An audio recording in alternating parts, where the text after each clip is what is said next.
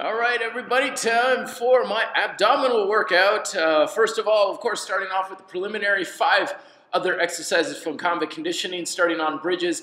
As you can see, still quite tense, still quite stiff, working on loosening up the upper back. Followed by my uh, single leg squats.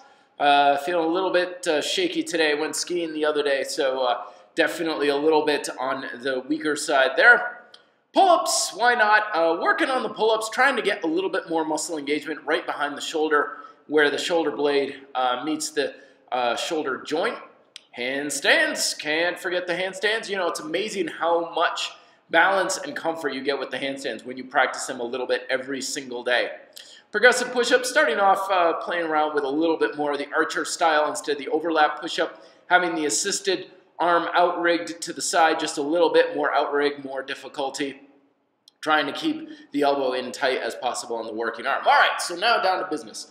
Leg raises are the order of the day. The key to getting your abs to really work hard with leg raises or anything else is your back uh, with all exercises. The more you tense up your back, the better these are. That's going to help with your swinging.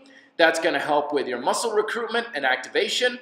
That's going to help with tensing up your anterior chain as well. So whenever I grab on I'm with a fairly narrow grip, and I'm focusing on tensing up my pulling chain as much as possible, getting about 8 to 10 going to the opposite bar. Supplemental shotgun exercise of the day here is simple uh, neck bridges. Again, I'm pulling into these uh, as with all other bridges. Bridges are more of a pulling exercise than a pushing exercise, so I'm not driving my forehead forward into the mat, just holding for roughly about 10 breaths, 10 seconds or so. I'm not doing it for like two minutes or anything like that with uh, this, uh, with the supine style pulling with the hamstrings. All right, set number two in the leg raises. Same uh, thing as before, keeping things tight to the center line. I'm pulling my lats in tight, pulling my hips in tight, also pulling my abs in tight. I'm trying to contract my abs towards the center line of my body. So it's kind of like I'm trying to suck inwards, not in towards my spine, but inwards towards my center line. I'm not a big fan of that whole idea of like sucking your gut, sucking your belly. I find if you try and draw things in towards your center line, that's going to be a more effective approach. Then uh, again, back to the neck, uh, trying to keep uh, fairly still. My knees are together on this. Again, the more you draw things in towards the center line, the less of a stable base you have.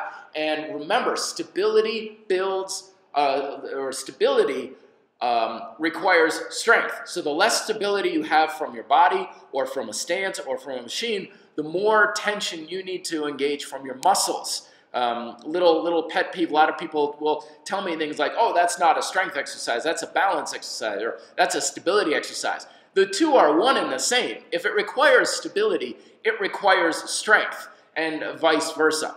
And just give you a different view here. Again, trying to go for the opposite bar there, having as little range of motion in my shoulders as possible. I'm trying to make this happen from my lumbar region, from my pelvis and my hips. I'm not trying to get to the point where I'm driving upwards a lot with my shoulders uh, and making the abs do a lot of the work. And then finally, as a finisher, it's a sit and hold for about 35 to 40 seconds uh, for time. Again, keeping the back stable and, uh, is key.